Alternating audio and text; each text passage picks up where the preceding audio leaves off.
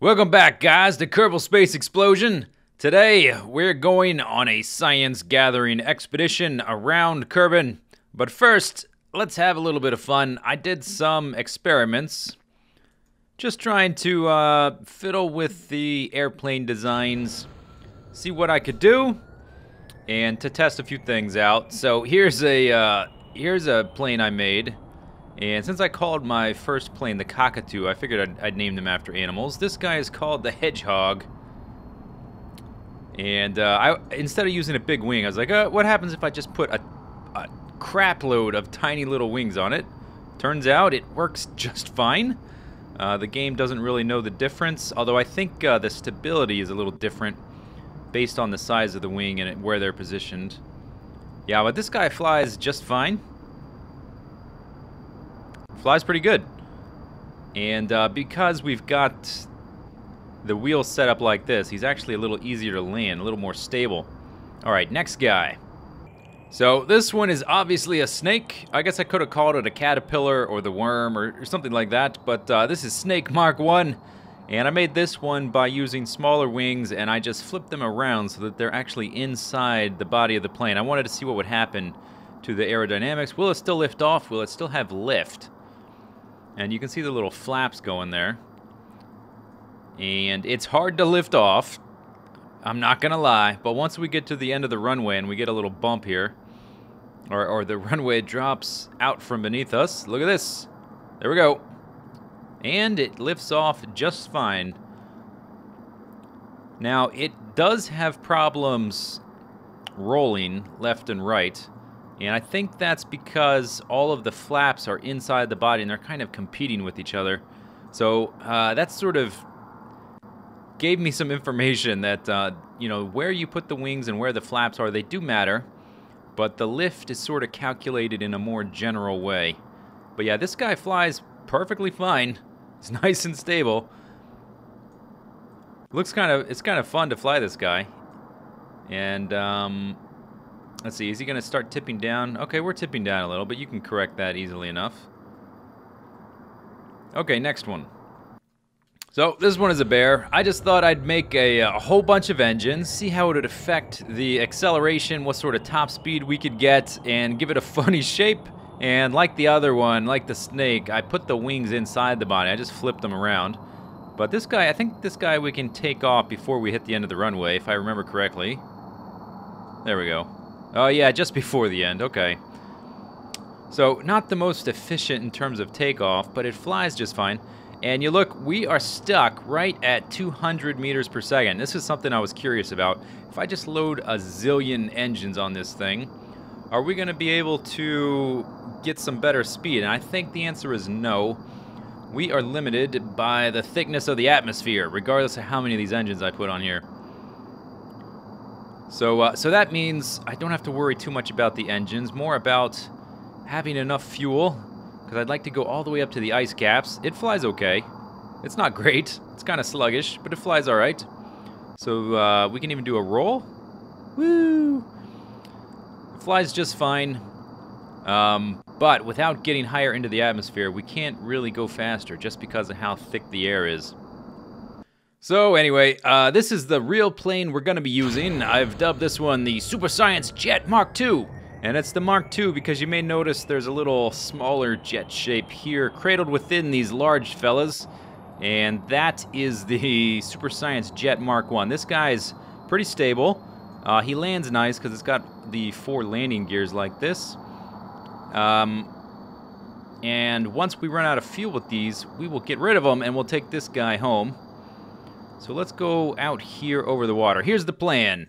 We are over here, down here on this peninsula. I want to go all the way up here to the poles, turn around, come all the way to the desert, and then end the mission, hopefully stopping a few times along the way to collect soil samples. So we want to be heading north. Let's start like a slow bank, and I've got a bunch of little science doohickeys on here. So let's go ahead and observe that guy and keep it. And our, uh, let's uh, let's pay attention to our altitude. We're actually losing altitude. I don't want to crash into the ocean while I'm doing this. So we did that. Um, I don't have eight of these, but I've got eight of everything else. I could think of six different quote-unquote biomes. let's log the temperature. Let's log the pressure data. And let's take a, a goo measurement. Observe that goo. The goo jiggles and wobbles as the craft flies. Hmm, very informative. And then we're going to uh, spin around a bit and head onto this uh, northern trajectory to head straight up to the poles. And I could think of, I think, six biomes. Let's see. Is this north? Oh, I guess because we flew way over here. I guess it is. Okay.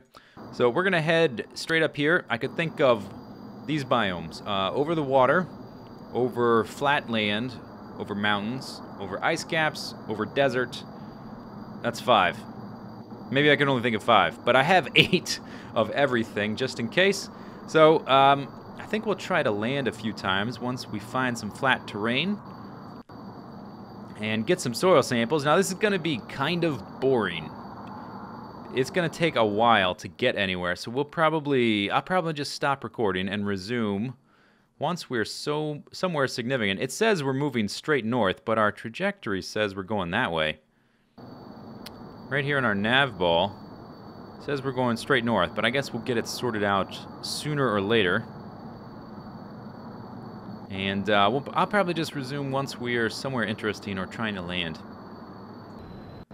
So I think this definitely qualifies as a mountain. I veered off course a little bit so that we could come give this guy a flyby. And I'm kind of wondering what the uh, the measurements are going to say. Probably nothing different. We'll see. I would like to land on this thing. There is no way I can land on this, though. Maybe we'll, uh, at some point in the future, when I want to experiment with uh, space planes a little more, maybe we will make something that can land on crazy surfaces like this. Let's take some readings. Oh, that's one we've already used. Okay, not that one. Log temperature. Okay, so nothing important. Okay, then let's log the... Uh, oh, no, we've already used that one. Let's log pressure data. Okay, so it just it didn't give us any funny messages. It just says that it did what we asked it to, and then let's take some goo measurements or whatever. Okay, so none of these are really significant by themselves, but hopefully they add up. So we took those over the mountain. Okay, so let's uh let's whoa gosh. No no. What happened there? Alright, I got too high. Something happened. Uh-oh. Uh-oh. Pull out of it, buddy. Pull out of it. No, no. This is not good. I think, I think we were too high in the atmosphere. And this plane isn't too stable when the air pressure gets lower. Come on. No, no, no. No, no. Pull up. Pull up. No, no. Stop spinning. How about stop spinning? How about stop spinning?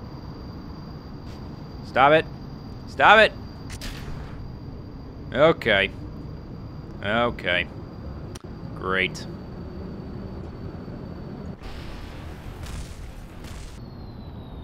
Okay, this isn't good. This isn't good. Okay, now try and speed back up. See what happens. Speed back up. Okay, that's not gonna work. Not gonna work. Uh, okay, we need the right. Oh, you still have wings. Go up, go up, go up, go up, go up, go up, go up. Dang it. We got we're like right there. We were maybe halfway there. That took hours. What happened is that as I run lower on fuel, that plane becomes more and more unstable. All right, I want a soil sample of the North Pole, and we're gonna get it, dang it. Yeah, that's right. Remember this guy? If we can go to Duna, we can certainly go to the North Pole. Let's go ahead and start turning over. Let's do a gravity turn at 400 meters. I don't care. I don't care. We're going to get there. Well, maybe we'll just go straight up and down because I have no control over this thing. At this point, here we are, back at the uh, the space program building, launch pad. We got to go up here. Shouldn't be any kind of problem whatsoever. Alright, yep, Maybe we'll just set our overall arc. We won't even get into orbit. We'll just keep firing in this direction until our until our uh, terminus ends in the North Pole. We will set down, take a soil sample, uh, take the temperature and the uh, the atmospheric pressure and whatnot, and we'll call it a day. We're almost done with these guys. How we doing? Yeah, we're getting close. It won't take much more. We're definitely gonna have some fuel left over, that's for sure. In fact, this stage may do it all on its own. It's almost done. Yeah, we're gonna need a little bit more. There we go. Lovely. Alright, so let's just get it... Actually, let's fly from here. Let's turn over. I don't want to go up anymore. I just want to go... I want to go uh, further north. There we go. And... Let's cut it there. And actually, I want to veer to the left. Mm, I think I want to do this. Something like that. Is this the right direction? Turn this way. Let's see if this extends us in the right direction. Okay, now we're going all spinny. Now we're going backwards. That's not good. Let's just waste some fuel, how about we?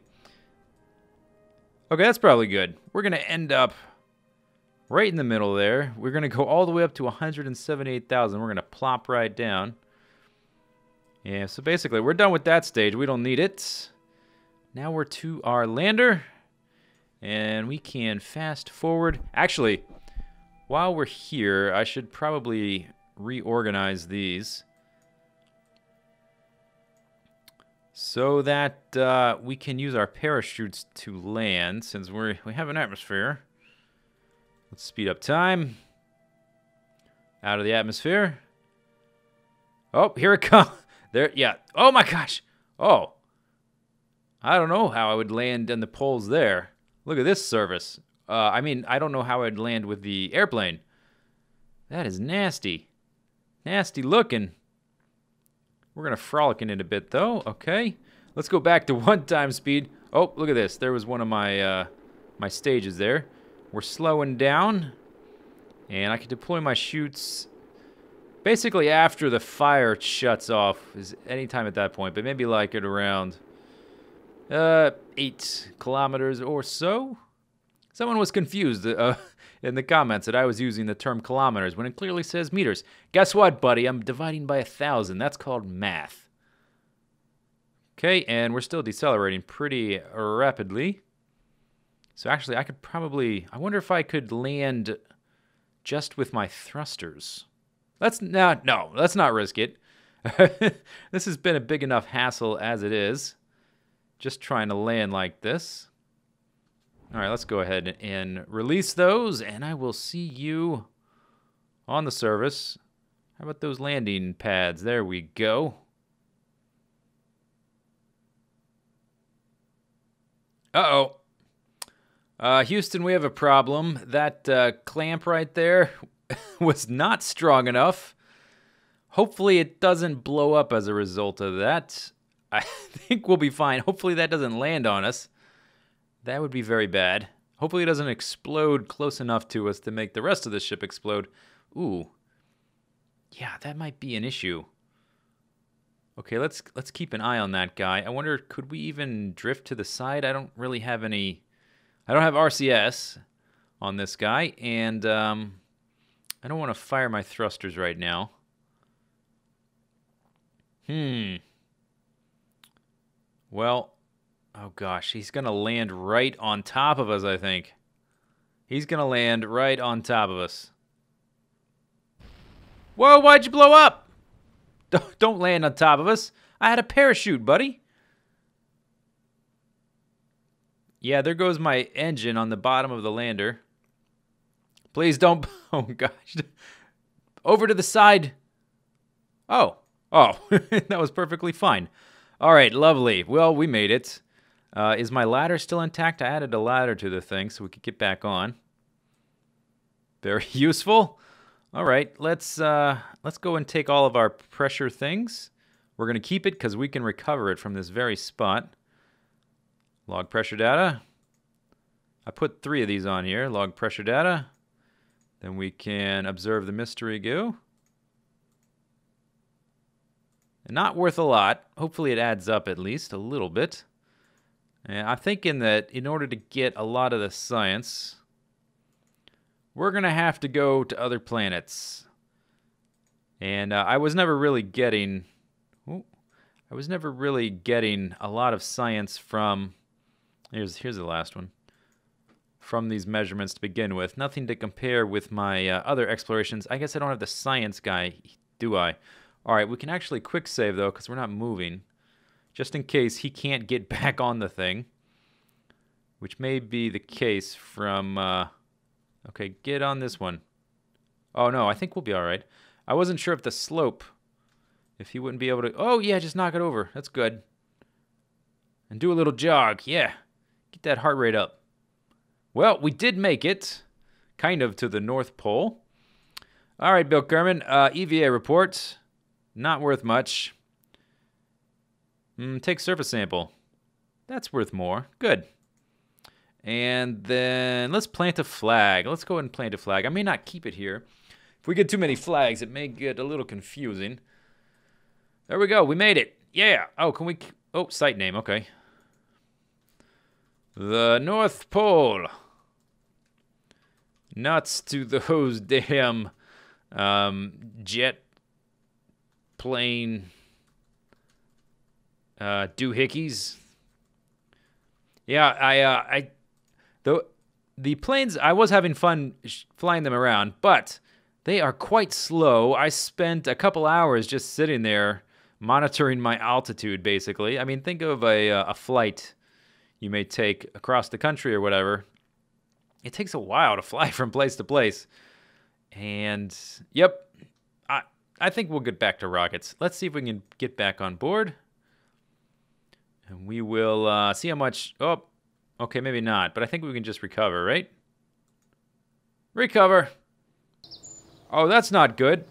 Okay, so we lost all of this stuff uh, from the... Uh, wow, this has been a disaster. We lost all the science from the lander because I guess it only counted Bill Kerman as re being recovered because we didn't get back on the ship. Oh well.